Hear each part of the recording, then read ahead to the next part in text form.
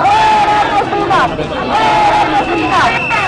Justo cuando trataban de inaugurar una obra en el Proviste, el Rosario, trabajadores sindicalizados protestan, mientras que buscan permanecer y buscan guardar el orden. En esta parte, elementos policíacos se encuentran realizando un operativo de detención para poder realizar las eh, coacciones correspondientes de las protestas, pese a decretos internacionales donde indican que los elementos policíacos no pueden asistir a contender manifestaciones armados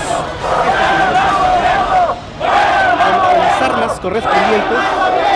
Así buscan frenar las protestas en esta zona de Tehuacán.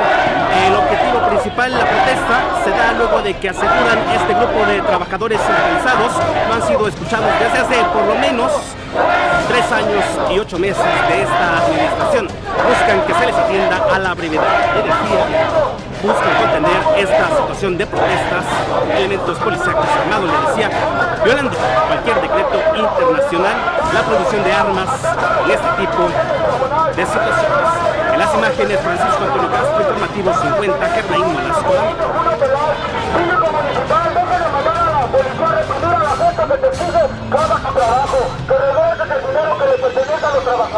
Reportajes.